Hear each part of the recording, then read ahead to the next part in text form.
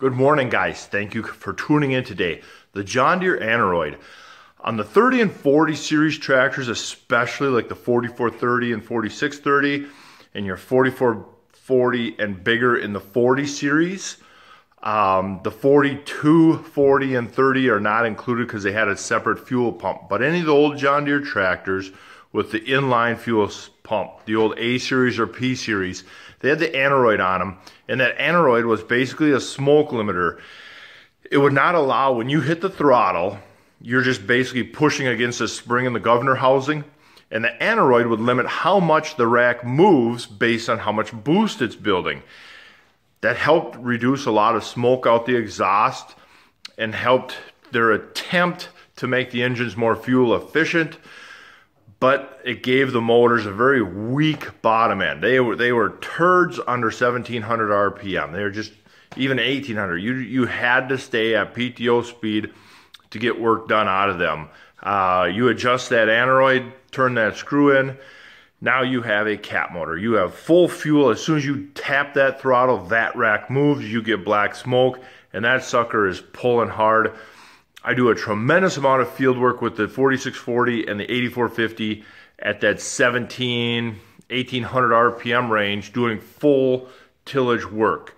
Um, moldboard plowing. I do a lot of moldboard plowing at that 15, I shoot, even uh, if it's good going plowing like in the spring when the soil is very soft, I'll jump up into fifth gear and just idle back to 1400 RPM, 1500 RPM.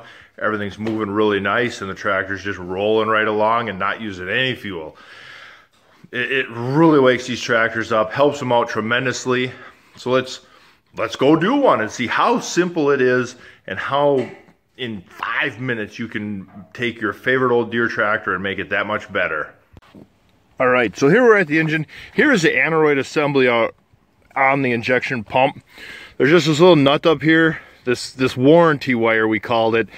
If that wire is snipped, then obviously you lose your warranty, but I think the warranty ran out of this tractor um, literally just shy of 40 years ago.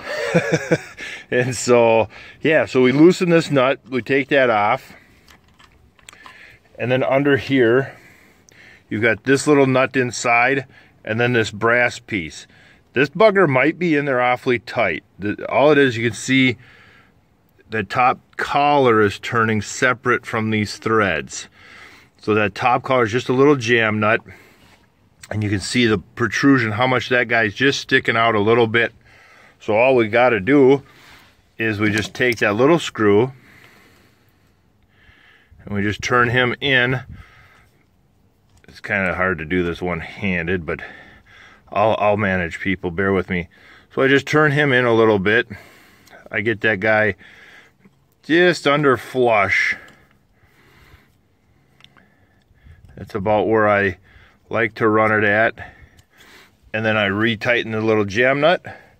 Then I put my nut back on top, snug him up, and that's it. That is that simple.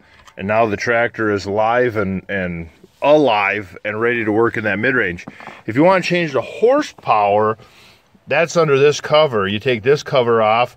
On some tractors, the oil filter housing is right here, so you'd have to take the oil filter housing off. But you pop this cover off. It's a 10 millimeter socket down there with another screwdriver bolt and you turn it in or out whether you want the power up or down.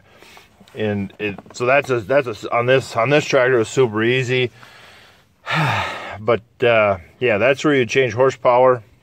And then you got some other bumper screws here and stuff to change how the tractor reacts. But but that's it. That is the John Deere Aneroid. Right there makes it a cat motor. She's going to pull hard and go from there. Guys, I hope somebody can benefit from this video. Thank you for watching.